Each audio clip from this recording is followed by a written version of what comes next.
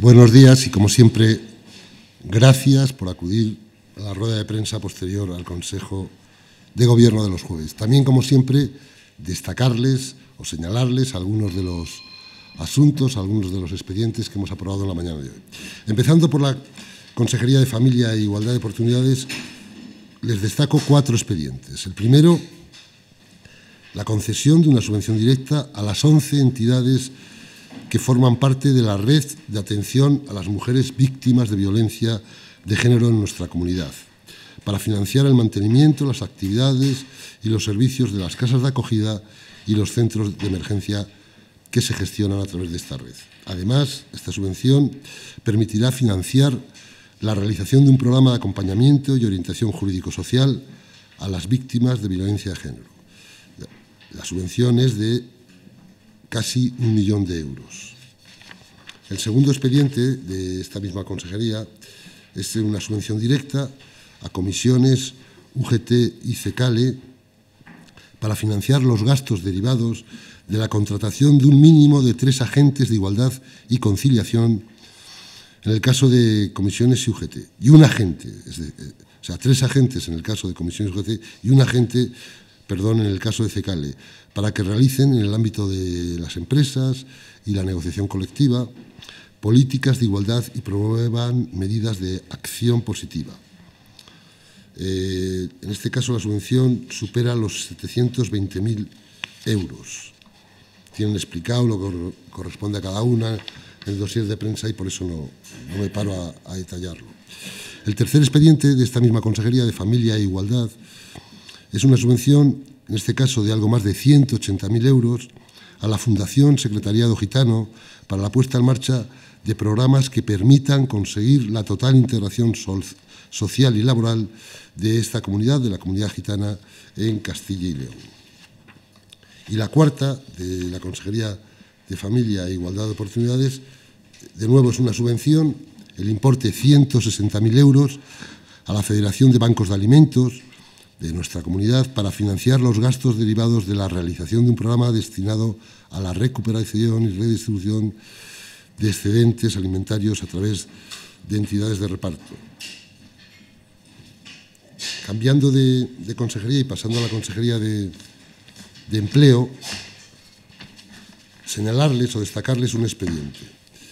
Es una subvención, el importe supera los 720.000 euros a CECALE, UGT y comisiones para desarrollar acciones de divulgación y promoción de las medidas incluidas en los acuerdos del diálogo social para la mejora de la empleabilidad de los jóvenes en nuestra tierra. Pasando a la Consejería de Fomento y Medio Ambiente, tres expedientes. El primero es la modificación de un decreto, el decreto 50-2010, que aprobaba el reglamento regulador del derecho de admisión en espectáculos públicos y actividades recreativas de la comunidad. Los cambios eh, amplían, los cambios que se producen en esta modificación del decreto, por un lado amplían el derecho de acceso con animales y por otro lado agilizan los requisitos de apertura. Es decir, se reducen los trámites eh, burocráticos, las cargas administrativas para la apertura. Eh, en cuanto a los animales, que seguramente les sorprende, lo que, hacemos, lo que hace el decreto es adaptarse a a, la norma que hemos aprobado recientemente de animales de compañía.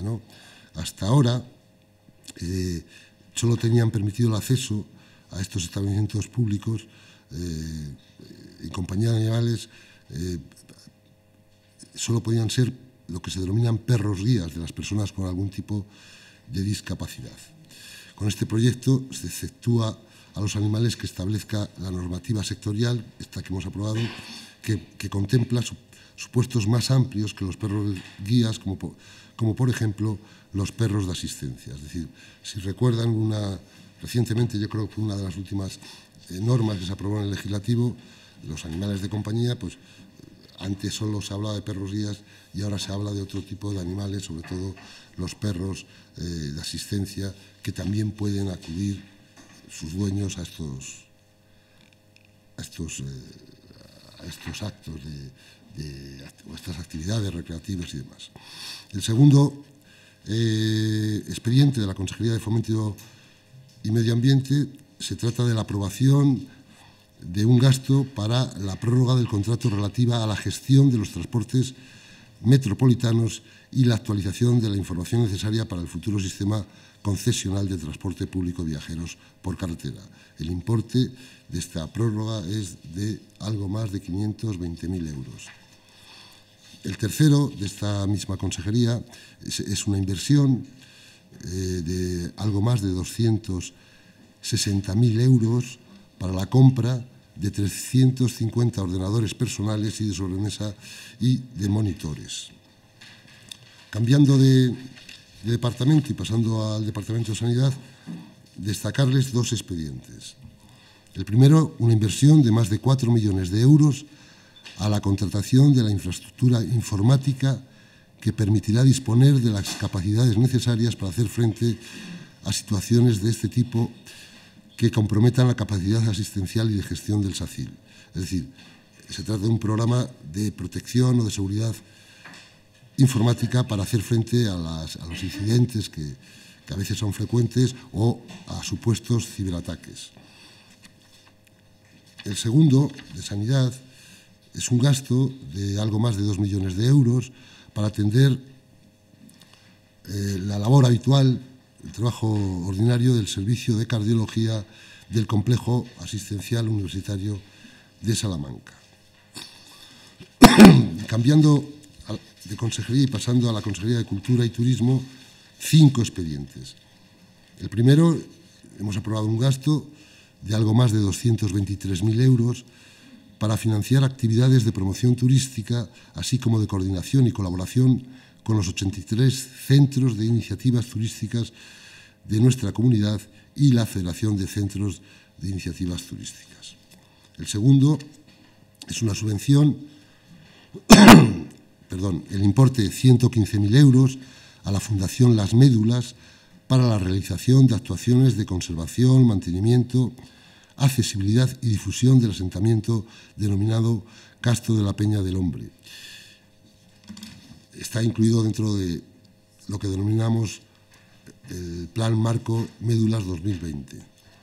El tercer expediente de Cultura y Turismo es, de nuevo una inversión, el importe 102.000 euros, para la, restauración del retablo mayor de la iglesia San Gil en Burgos. El cuarto expediente de esta misma consejería es una subvención, el importe 90.000 euros, a la Universidad de Burgos destinada al mantenimiento y mejora de la infraestructura de los yacimientos, los gastos de, sondeos, la topografía y geofísica y registro de datos arqueológicos, así como los de seguridad y funcionamiento en el proyecto de excavación e investigación arqueopaleontológica en la Sierra Tapuerca, correspondiente al año 2019. El quinto y último de esta Consejería de Cultura es, eh, de nuevo, una, subvención, el importe 50.000 euros, a la Fundación Venancio Blanco con el objeto de dar continuidad a la obra y personalidad de este artista. Ya por último, un, expediente, son dos, pero se lo hemos hecho en la nota en, uno, eh, de, la Consejería de la Presidencia, son el informe que hemos llevado porque es preceptivo al Consejo de Gobierno para informarle de dos propuestas de orden de la Consejería de la Presidencia por la que se determinan, por un lado, la cuantía que corresponde a cada entidad local en la financiación local vinculada a los ingresos impositivos de nuestra comunidad para el año 2019. Y, por otro lado, la cuantía que corresponde a cada entidad local en la financiación local vinculada a ingresos impositivos de la comunidad para 2019 en la parte destinada a medidas o planes o programas de desafíos demográficos. Saben que, que se crearon en la ley de 2014 y como consecuencia de, eh, esto fue una consecuencia de la ordenación del territorio, eh, bueno, eh, mediante ley regulamos la financiación de las entidades locales vinculada a los tributos impositivos, tanto propios como cedidos. Pocas comunidades lo tienen, aquí decidimos dar ese paso. Se crearon dos fondos, si recuerdan, uno el que, corresponda a tributos propios y otro el que corresponde a tributos cedidos. Hay una fórmula para hallarlo, que no se lo voy a comentar, en la nota la tienen, y la ley también señala que ninguna entidad podrá percibir menos de lo recibido en 2014.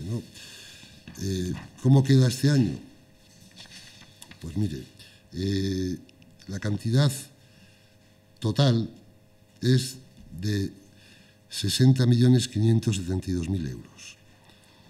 Tributos propios, 12.200.000. Fondo económico de los tributos cedidos, 48.100.000.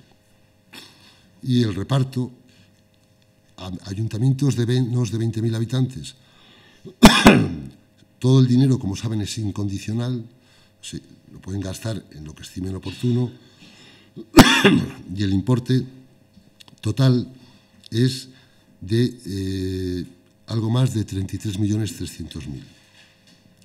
El ayuntamiento de más de 20.000 habitantes tiene que dedicar una parte del dinero a fondos incondicionados y otra parte a, políticas de empleo, lo que llamamos políticas demográficas. Los fondos incondicionales son eh, algo más de 6 millones de euros y los fondos dedicados al empleo también algo más de 6 millones de euros. Perdonen. Y las diputaciones pasa exactamente igual.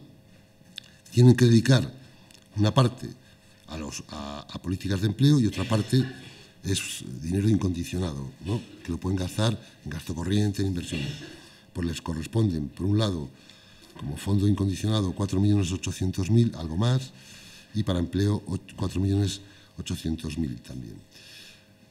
Total incondicionado 49.700.000, de los cuales 10.000 se dedican a políticas de empleo.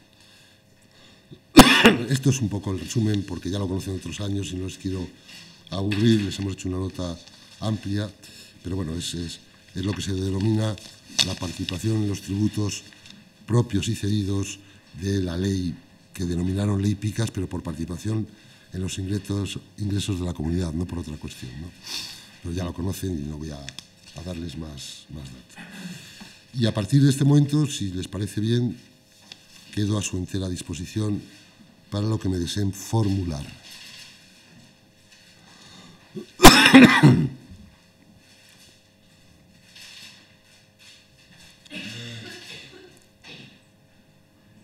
Sí, yo quería preguntarle eh, qué responsabilidad cree la Junta de Castilla y León, si, debe adoptar alguna, eh, por los resultados obtenidos por el Partido Popular en, las pasadas elecciones. ¿Qué responsabilidad cree que debe asumir el PP de Castilla y León? Sí, bueno, eh, lo primero es, es analizar cuáles han sido las causas de ese resultado.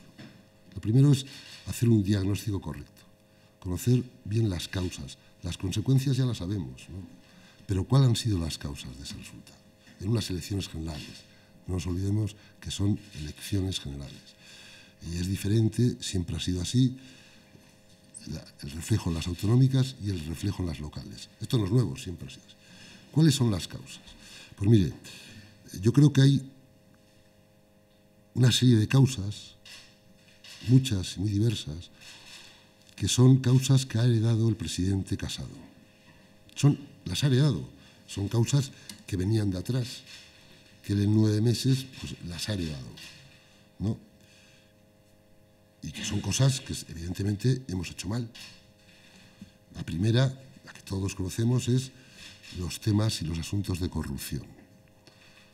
Ha habido muchos, diversos, y yo creo que, que no se han abordado con contundencia. Eh, en algunos casos se han abordado con cierta tibieza y se han explicado mal. Esto es lo que ha heredado Pablo Casado. Yo creo que también ha heredado una falta de humildad de los gobiernos del Partido Popular a nivel nacional. Una falta de humildad. Ha heredado una muy mala, muy mala política de comunicación, mala política de comunicación. El ejemplo más, más eh, palpable de la política de comunicación es lo mal que comunicamos hacia afuera la crisis catalana. Europa creía que eh, aquí estábamos haciendo barbaridades con el tema catalán. Ahí no hubo una buena política de comunicación. Les pongo ese ejemplo, les podía poner muchos más, pero ha habido una mala política de comunicación que ha heredado eh, el presidente Casado. Ha heredado ciertas dudas, ciertas ambigüedades de cómo abordar el problema catalán. La terrible crisis territorial que desde hace años, desde hace años viene padeciendo eh, España, el Estado español.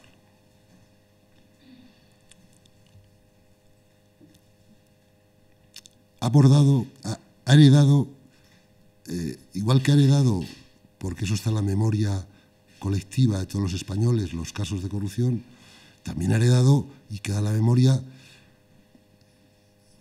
lo mal que gestionamos la moción de censura que se le hizo al propio Rajoy. Eso también lo ha heredado Pablo Casado. Ha heredado que los pasos que se dieron en el último gobierno del presidente Rajoy para hacer frente a la corrupción y poner en marcha medidas de regeneración no se han sabido explicar bien, no se han sabido explicar o comunicar adecuadamente.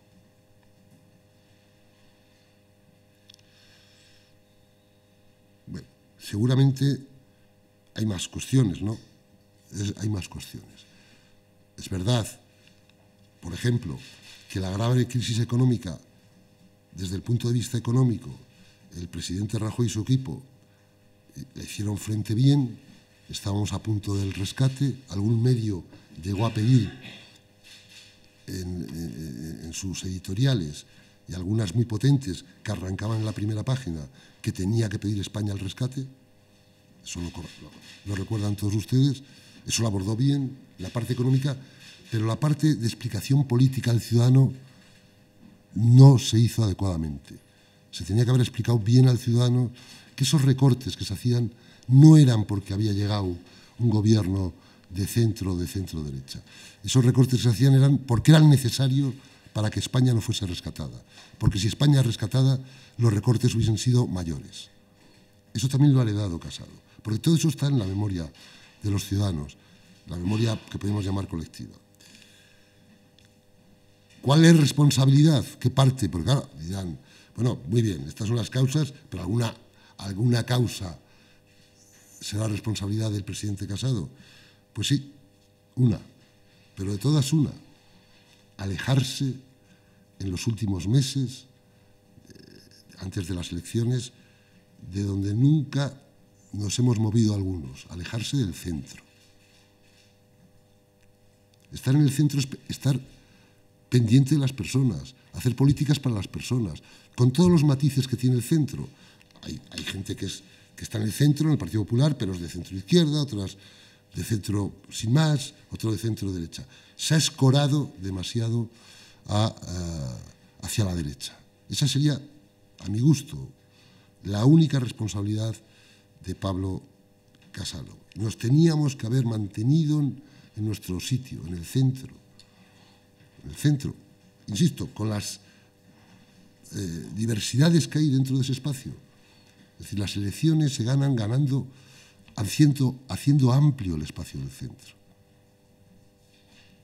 ¿Y, el centro qué es? Pues poner en el centro de las políticas a las personas. Eso es el centro.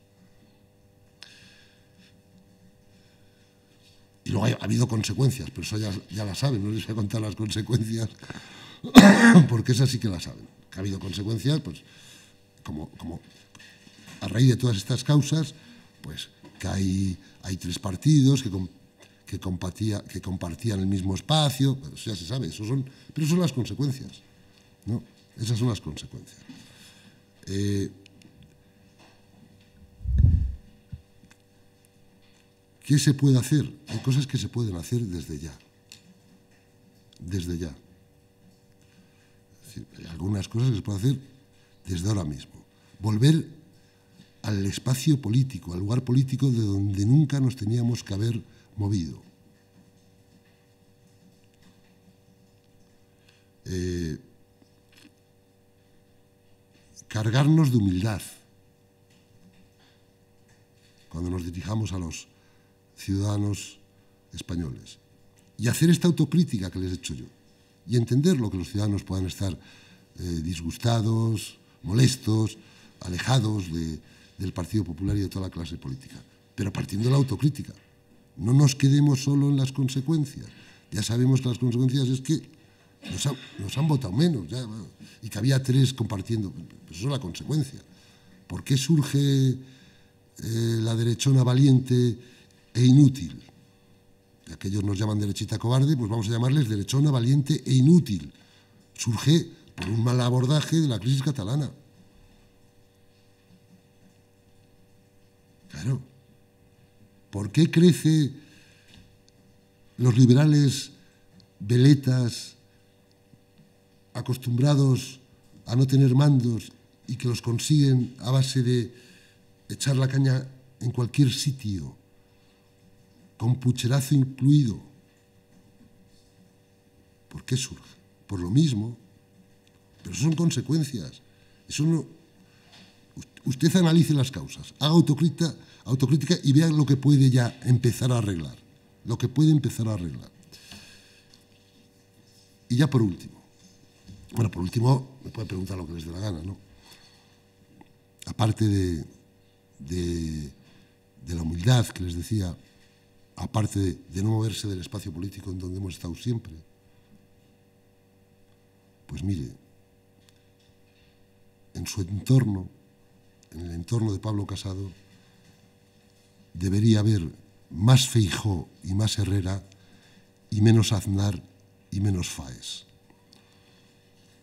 Sí, ha dicho, ah, Pablo Casado ha hecho cierta autocrítica, pero no reconoce que haya hecho un viraje al centro. Mientras no lo reconozca, supongo que eso es difícil no, de. No, no. Hay muchas formas, de, muchas formas de reconocerlo. Mire, el otro día en la Ejecutiva llamó extrema derecha a vos. Hasta ese momento no había llamado extrema derecha a vos. ¿eh? Sí que lo reconoció. Y, y, su propio mensaje era un mensaje mucho más centrado. Y su propio movimientos del partido ha buscado a gente que siempre ha estado en el centro. Cuando ha nombrado a los dos coordinadores, tanto de las elecciones, perdón, coordinadoras de las elecciones europeas como de las elecciones eh, municipales y autonómicas. Es decir, sí que si tampoco se trata de flagelarte todos los días. ¿eh? Yo ya he hecho la valoración, pero si me lo preguntan todos los jueves, no la voy a seguir dando, no voy a seguir flagelándome. ¿eh? Ya está. Lo que hay que hacer es, hecho el diagnóstico, ponerse a trabajar todos en la misma dirección. Ponernos a trabajar todos en la misma dirección. Eso yo deseo que haya tiempo. Me gustaría que hubiese tiempo. Mi intención es que haya tiempo y voy a trabajar para que haya tiempo. Esto es lo que le puedo decir. ¿Y hasta qué punto a su juicio puede afectar a los resultados de las elecciones autonómicas? No sé pues mire, eso es complicado. Los que saben de política, que yo de esto no sé nada, ya saben aquello que, que, decía el dictador a sus ministros, usted no se dedica a la política. ¿no? Los que saben de política, que yo de esto no sé nada, eh, dicen que eh, los ciudadanos te castigan una vez en un, en un proceso electoral, no dos veces. Pero eso no lo sé. Te castigan una vez por estos errores que les he, ido, que les he comentado. Es decir, esos, pero si usted repasa un poco eh, eh, los procesos electorales que ha habido a lo largo de estos 40 años en España, se dará cuenta que eh, en momentos determinados los ciudadanos te castigan al partido A, al partido B o al partido C porque ha cometido una serie de errores, pero no se lo guardan para las siguientes elecciones. Eso es lo habitual y lo normal. Pero es la primera vez que van a concurrir tan cerca dos procesos electorales. Yo le puedo decir que haré todo lo posible porque se produzca ese, ese cambio. ¿no? Todo lo posible es trabajar, pelear hasta el último día, entre otras cosas porque es mi obligación y que por eso, para eso nos votaron hace cuatro años los ciudadanos de Castilla y León. Pero ¿usted cree que los electores del, del Partido Popular entienden que la misma persona, el presidente nacional del partido, que eh, ofrece ministerios a Vox y dos días después habla de chiringuitos y de mamandurrias, eh, ese mensaje lo entienden, ese bandazo lo pueden entender los, los electores del Pero no es un bandazo. El Partido Popular. ¿Usted cree que hay un bandazo en la, en la gestión política del Partido Popular de Castilla y León? No es un bandazo. ¿Usted que hay un bandazo en la gestión política del Partido Popular de Galicia? No es un bandazo. Es decir, no es un bandazo. Es decir, es que algunos estamos en el centro. Y no, no tenemos que girar al centro. Estamos en el centro. Es un bandazo. Lo que pasa que, por, como consecuencia de esas causas, sus asesores entendieron que tenía que girar demasiado a la derecha. De esas causas que, he ido relatando. Y por algunas más, que no voy a entrar porque tampoco estoy aquí para hacer un diagnóstico perfecto, ¿no? Pero, entonces lo que que, oye, esta, esta, vamos a corregir, con este diagnóstico vamos a corregir, vamos a corregir. Y ya él ha corregido el discurso, pero otros no habíamos cambiado el discurso. Ha corregido el discurso y ha tomado medidas dentro de su estructura del partido. Pero 28 días o 26 llegan pronto. ¿eh? Lo sabremos pronto. Cuando se refiere Yo espero que sí y deseo que sí. Cuando se refiere a Cataluña, que dice que se hizo mal, ¿cree que se debería haber actuado antes o en qué sentido lo dice? No, se tenía que haber actuado antes sin tanto titubeo y sin tantas dudas. Y una vez que intervienes, intervenir. una vez que aplicas el 155, aplicarlo en, cosas que eran evidentes. Es decir, eh, la televisión catalana, a nada que yo no la sigo porque no la veo desde mi casa, pero a nada que ves algún programa suelto, algunas cosas, eh, oye, eso no es haber intervenido la televisión catalana, que no es cerrar la televisión catalana, sino que haga lo que tiene que hacer un medio de información, informar. Informar. Yo hubiese, eh, hubiese intervenido de alguna manera en los mozos de escuadra, por el comportamiento que han tenido los mozos. Es decir, no se trata, yo creo que ahí hubo ambigüedades, hubo dudas, hubo miedos, se trasladó eso a la opinión pública y cuando se hizo, se hizo tarde y también con miedos y dudas.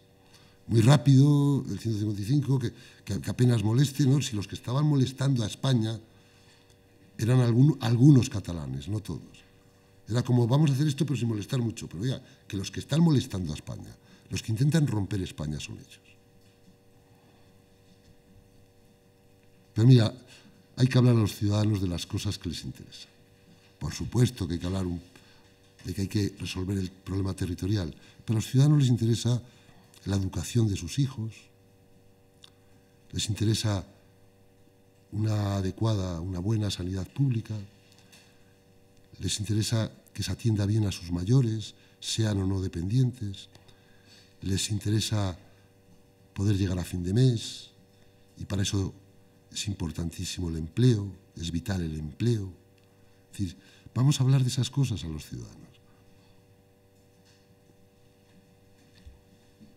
Niega un bandazo y hablaba de que en Galicia y en, hablaba de la política en Galicia y en Castilla y León, pero en Andalucía gobierna el PP con, con la participación de Vox. Quiero decir que al final sí que, y de hecho Pablo Casado les ha llamado extrema derecha el otro día, pero sí pactan con ellos en Andalucía. Vamos a ver, eh, un ejemplo, una golondrina no hace primavera.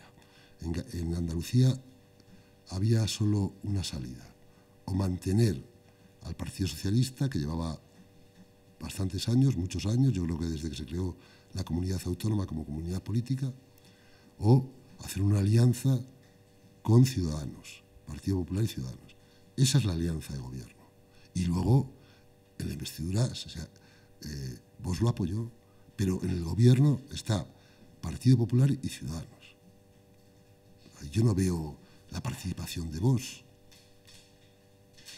Todavía yo no he visto la participación de vos. He visto que han, han suprimido el impuesto de sucesiones y donaciones, si no recuerdo mal. He visto que han descubierto en la, en la autoría que todavía no se ha acabado que eh, que había lista de espera trucada, pero trucada con más de 500.000 personas en lista de espera, escondidas. He visto que, que durante tres años, me parece que eran 25.000 personas, han fallecido esperando la ayuda a las dependencias. Es lo que estoy viendo. Pero ahí vos. un pacto de gobierno. Luego vos apoya la investidura al que él cree que le resulta más interesante. Pero ahí no hubo un giro. Ahí los resultados son los que son. Había posibilidad con esos resultados de gobernar o no gobernar. Hace cuatro años no se gobernó. Se unió el Partido Socialista con Ciudadanos. Y este año se ha gobernado. Y se ha hecho un gobierno de coalición, Partido Popular y Ciudadanos.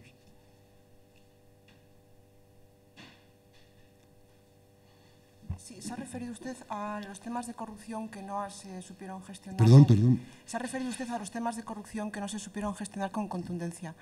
En estos cuatro años, en la Junta ha habido asuntos como las eólicas, comisiones de investigación, etcétera, etcétera. Se han tomado medidas de regeneración apoyados por ciudadanos. ¿La Junta de Castilla y León ha sabido eh, gestionar mm, co- contundentemente estos asuntos? ¿Queda pendiente las eólicas? ¿Les pueden afectar?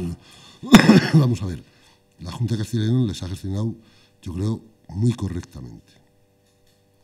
Es decir, desde, en el plano político, hemos, el presidente, les recuerdo que intervino en la Comisión de Economía, por eso que llama usted el tema de las eólicas, la Comisión de Economía, que es bastante más importante que la Comisión de Investigación, que de entrada no hayan pedido su comparecencia.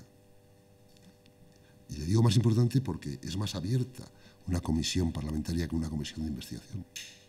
Intervino allí, lo que lo va a hacer, intervenir dos veces.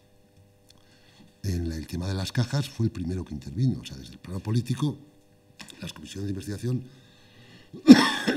han llevado la tramitación normal que lleva una comisión de, inve- de investigación. Lo que pasa es que aquí no estamos acostumbrados, nunca había habido. Pero mire usted cómo acaban las comisiones de investigación. Es que aquí se confunden. Es, es una investigación política, no judicial. Aquí se confunden porque desde el principio la han querido judicializar y, de hecho, con las conclusiones, alguno se fue al fiscal, que confunden lo judicial con lo político. Es decir, desde el plano político sí. Se han tomado medidas. Mire, somos la única comunidad autónoma que en esta legislatura hemos limita- limitado los mandatos, tanto del presidente como de los consejeros en una misma consejería. No nos apoyó el Partido Socialista. Somos la única comunidad de España que ha regulado las puertas giratorias. No nos apoyó el Partido Socialista esa ley. Somos la única comunidad autónoma que tenemos regulado por ley la obligación de callados debates. Saben que ustedes que los debates no son obligados, excepto en Castilla y León. No apoyó el Partido Socialista esa medida. Se han hecho cosas, no pudimos los aforamientos porque requería eh, modificar el estatuto. Necesita una ley, que, eh, una- el estatuto es una ley orgánica y eso requiere una Pero si no, hubiésemos ido también modificar los aforamientos. Se han tomado bastantes medidas en ese camino. Medidas de mejora de la transparencia, muchas. Y luego el proceso judicial va como va. Hasta ahora, de todos esos casos, ¿ha habido algún condenado? ¿Usted ha citado? Ninguno. En cambio, sí que ha habido altos cargos que estaban imputados y que ya no están. En esos casos que usted me ha dicho, todavía no ha habido ningún condenado. Pero sí que ha habido casos de altos cargos que empezaron estando imputados y que les han levantado la imputación.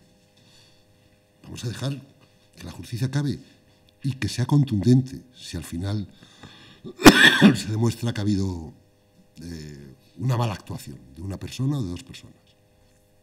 Vamos a esperar. Y no voy a decir, no lo voy a comparar con, con la pregunta que me hacía su compañera de lo que pasa en Andalucía. Pero ya que me la ha hecho, piensa en Andalucía. ¿Cuánta gente está pendiente de una sentencia porque ya se ha celebrado el juicio oral?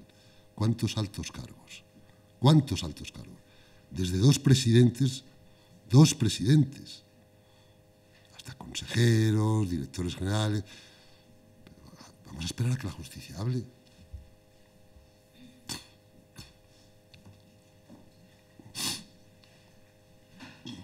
Más cosas.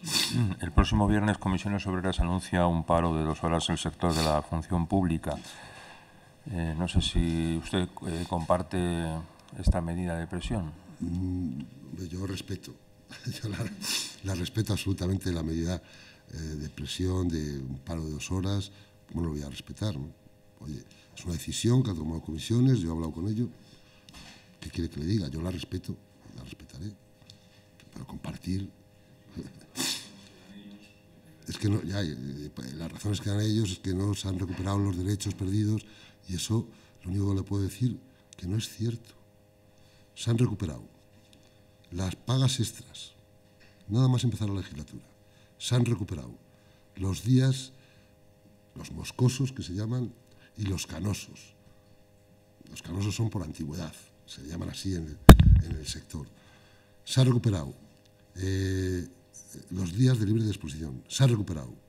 Las ITES se pagan 100% desde esta legislatura también, como se pagó antes de la crisis, la, eh, la, baja temporal, para entenderlo, se ha vuelto a pagar el 100%. Se ha recuperado todo menos las 35 horas, porque legalmente, legalmente no podíamos y todavía no podemos y hemos quedado con ellos sin trabajar aunque no podamos. No podemos porque tenemos que saber, y esto lo da el Gobierno de España, si hemos cumplido los tres requisitos. Sabemos que hemos cumplido dos, pero todavía desconocemos si hemos cumplido o no la regla de gasto. Y a pesar de todo dicho, pero vamos a trabajar. Y ojo, y las 35 horas ya el año pasado durante tres meses se recuperaron y este tenemos cerrado el acuerdo con ellos para cuatro meses, desde el 1 de junio al 30 de septiembre. Bueno, bien, a ellos les parece que no, yo creo que sí. Pero vamos, respeto esa movilización y las que haga falta y todas las que les parezca bien hacer. Sí, el otro día también se quejaron eh, los fijos discontinuos de Montes porque el acuerdo que se haya firmado consideran que no se ha cumplido y que ya no hay plazo para los que se van a ampliar los contratos a nueve meses a cumplirlos. Sí, vamos a ver, hubo, hubo, ese acuerdo surge del diálogo social, si lo recuerdan. En el diálogo social se pacta eso. Inmediatamente se traslada a la función pública y a la Consejería de, de Fomento y Medio Ambiente. Había que modificar dos RPTs, y por orden. La primera ya está modificada y la segunda es verdad que se ha retrasado un poco y nos ha llegado para empezarla a gestionar, a tramitar, para decirlo de alguna manera. Tramitar es mesa general de negociación, consejo. La segunda nos ha llegado el jueves y, y vamos a empezarla a tramitar. Que a ellos los hubiese llegado antes, yo creo que sí que llegamos, sí que podemos llegar. Pero, insisto, había que modificar en dos, en dos momentos las RPTs. Una lo hemos hecho, eh, el tema de operativos de incendio, y la otra la segunda modificación teníamos, podíamos haberlo hecho antes, pero nos ha llegado el, el jueves y vamos a, empezar con la tramitación ordinaria. Yo creo que podemos llegar. Piense que también en el acuerdo se recogía siempre y cuando las disponibilidades presupuestarias. Este año es complejo porque no ha habido presupuesto, ha habido eh, prórroga del presupuesto, hay que hacer movimientos presupuestarios, pero voluntad toda para que se culminen los dos acuerdos. ¿eh?